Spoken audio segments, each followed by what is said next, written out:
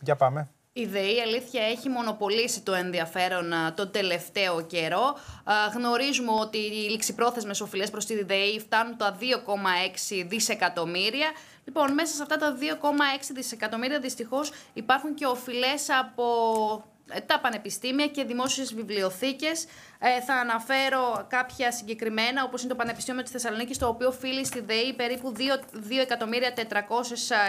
ε, σε λογαριασμούς. Ε, το Πανεπιστήμιο Ανίνων 2.300, το Δημοκρίτιο 5.75, ε,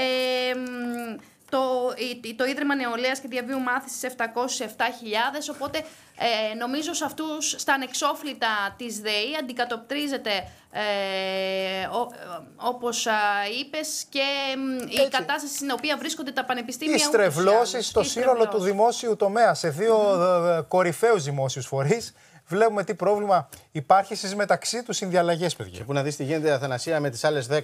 Οι 10 ναι. τι χρωστάνε στη ΔΕΗ. Ε, ναι, είναι και αυτό. Πάντως είναι 6 εκατομμύρια όλα τα ανεξόφλητα των πανεπιστήμιων. Σε ευχαριστούμε, Αθανασία. Σε ευχαριστούμε.